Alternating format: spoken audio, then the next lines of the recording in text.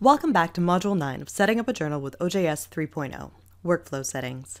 This is Unit 4 of this module, Publisher Library.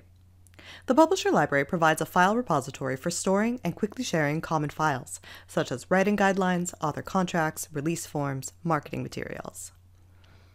Items that are stored in the Publisher Library can be quickly retrieved and added into a submission library to be shared with authors and assistants.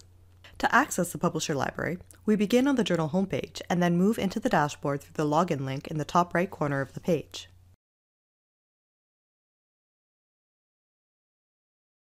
Hover over Settings in your left navigation and select Workflow. Publisher Library is the fourth tab in the new frame.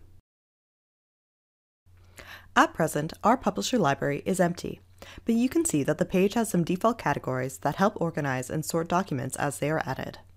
To add a document, click on Add File in the top right corner of the box. All three items in the wizard are required items. Begin by naming your file. Simple but descriptive titles are recommended.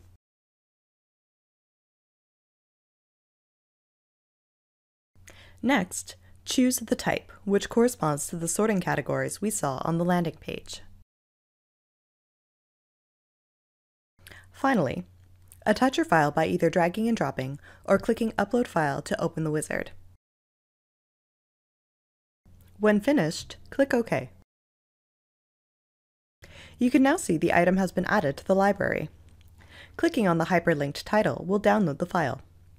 Clicking on the expansion arrow exposes the Edit and Delete button. This page and its content can be edited at any time. And that concludes our overview of the Publisher Library. Thanks for watching. We'll see you again in the next module.